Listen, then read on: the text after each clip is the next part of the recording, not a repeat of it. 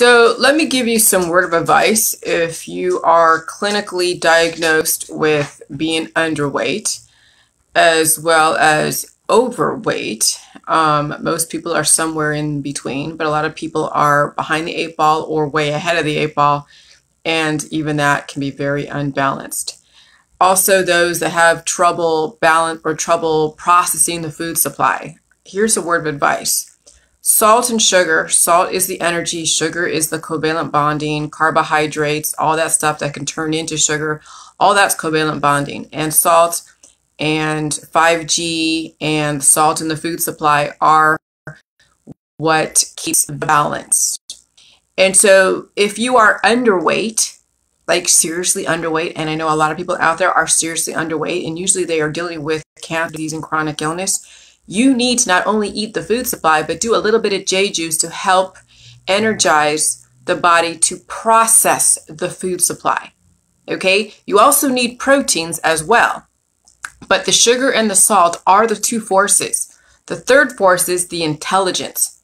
The third force is the intelligence to know how to balance that out and understand what's going on, where you came from, and where you want to end up ultimately.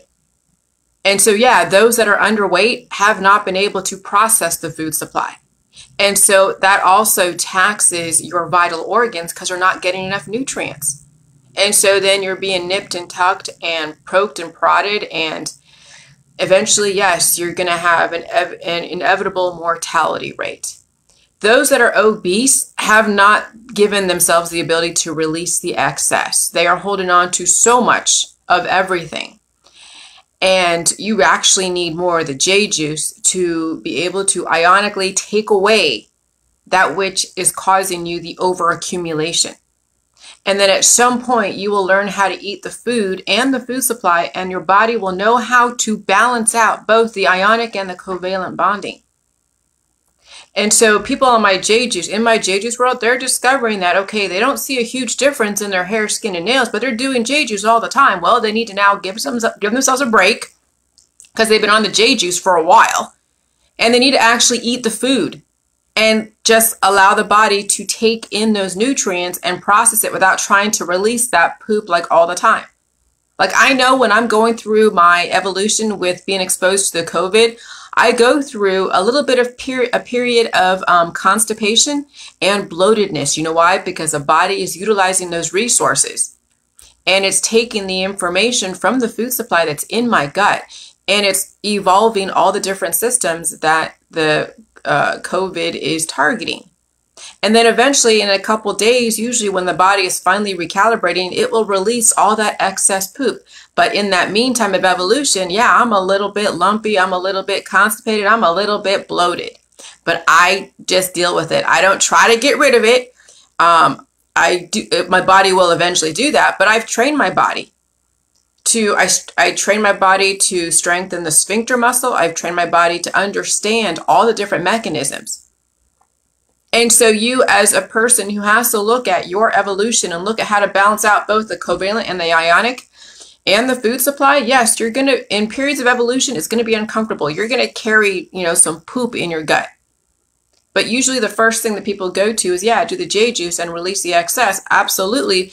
But there's such thing as too much releasing and not enough covalent bonding. So where you're so skinny and you're not seeing a difference in your hair, skin, and nails, and I'm like, you've been on this for three years, two years. Do we see any kind of evidence of some kind of change? Well, maybe it's because you're releasing more than you're able to actually accumulate and regenerate.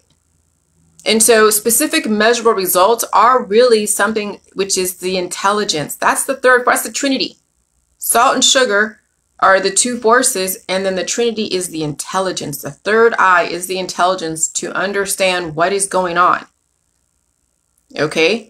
Man cannot live on just Jilly juice alone. Man cannot just live on the food supply alone.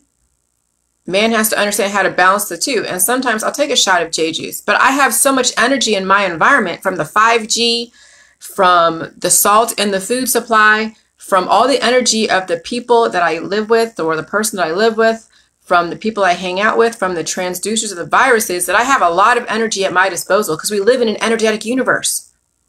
Jilly juice isn't the only electricity in, in your environment. It's one aspect that will um, help give you a preemptive like training wheels.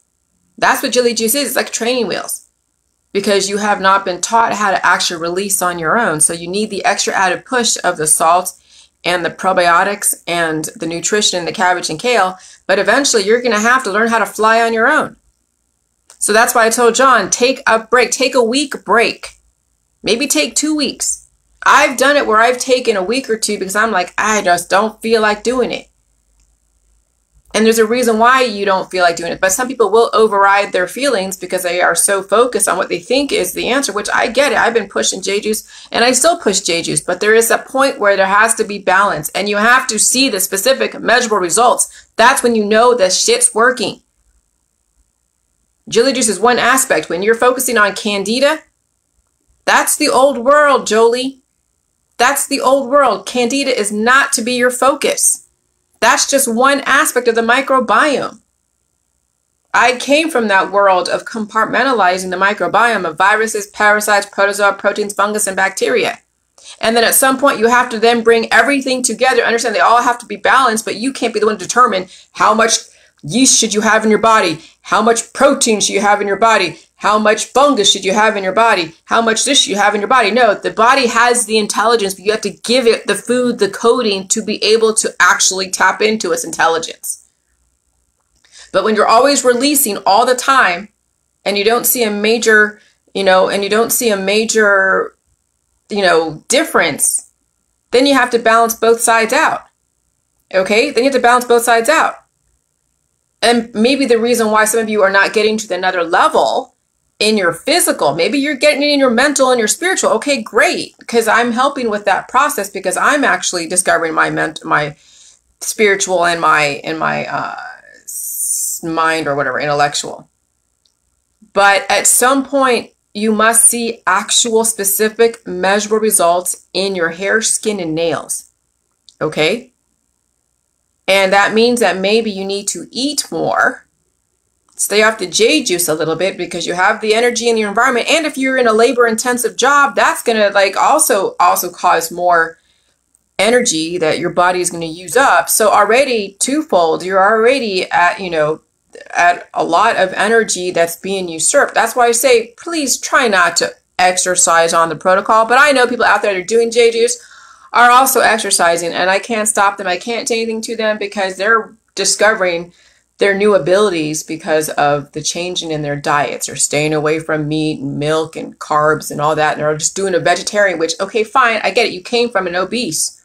But you can do Jilly juice and be obese and not play the discrimination game.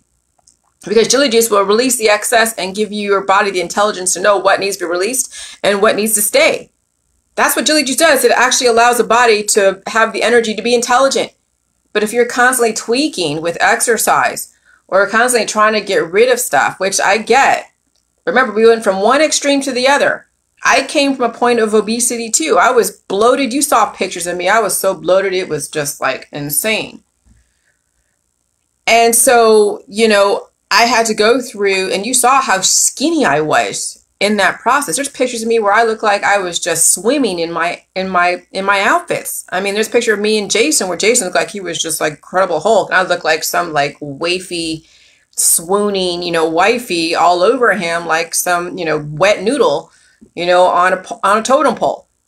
Okay, so you saw me go through the very skinny part of the J juice because I was doing more J juice and less of the food supply because I was playing that discrimination game. And then the evolution of the Jilly juice is where we are okay, we're not playing the discrimination game. We're not doing the get rid of the sugar and the carbs and all that. No, you eat everything because everything needs to be in your body. You need to balance it out. But if you're doing a lot of J juice and releasing all of the food that's in your body on a continue like on like such a very fast rate, how does the body have time to think about actually regenerating? So a week, if you've been on the J juice for three years, give yourself a freaking break. Give yourself a break because that energy is not going to allow your body to think that quick because it's being released, you know? Be bloated, have a little constipation, and then that eventually that gets, gets tiresome. You're like, oh my God. And then the digital nomad thing comes about because I, I sometimes I didn't want to do the J juice, and so I use the digital method. No, it's not glamorous. Oh, I'm sure I'm going to get a lot of flack for this, but your body is strong enough to handle being trained to training your sphincter without the J juice to be able to release what's in your colon when it's time. Not because you're like, okay, well, I don't want poop my system, so I'm going to drink a load of J juice and have these major water, which is great. Major waterfalls are great. But remember, it's about balance. And if you're feeling uncomfortable and feeling bloated, that's part of the evolution process. I finally was able to handle it this last COVID round. And I felt, yeah, my belly was just like this. I felt like, oh, I could feel it. And I'm just like, you know, but I didn't want to do J juice. The reason why is I had to go through that process of feeling uncomfortable. But then the next couple days, the body released it. It was just like as if it knew when to release it. Okay? So, you know, at some point, really, at some point, train your body to only do a little tiny bit, it maybe like a shot of it. Not even a pint, maybe a shot if you want, but really allow the food supply, allow the proteins, allow the soy, allow the milk, allow the meat, all of that to give you your hair back to give you your muscles back, to give you your strong, vital organs back. There must be a specific measurable result that you can see with the naked eye that J juice and the food supply is working to your benefit. Because it's not just spiritual, it's not just intellectual, it's also the physical. And when you ignore the physical and do more of the, the intellectual and more of the of the spiritual, then you're ignoring the physical. Okay, so remember balancing those three areas. And so, um, and so this is my advice to all of you out there that are doing the J juice on trying to figure out what the hell you're doing. Oh, it's, let me tell you, it is a constant balance. It's knowing where you came from, knowing where you want to go, and knowing going from one extreme to the other. And if you came from a deficit of fat, then you got to put the fat on the body. If you came from a deficit of not enough release, then you have to do the J juice to release the excess fat on your body so you can get the pressure off your vital organs. Okay? That's the whole point of juice. And you have to feel the uncomfortableness. Okay? And so, yeah, in the beginning, around JJ said, oh yeah, a gallon a day, which is fine if you're, I guess, 300 pounds. Yeah. It's not impossible if you're three or 400 pounds, 200 and something, and you do a gallon a day in the beginning just to kind of get the pipes cleared and get the body recalibrated. So that way, when you do eat food, everything is recoded and finally you're training your body to release excess and take what it needs. But remember, too much of anything okay, and then you don't see a specific measurable result in a certain amount of time, because let me tell you, yeah, there are a lot of spiritual people out there that are wasting away. Oh, yeah, they have great, you know, revelations about the universe, but their body is wasting away. Okay, so this is the balance between the body, mind, and spirit. And you're looking for specific, measurable results.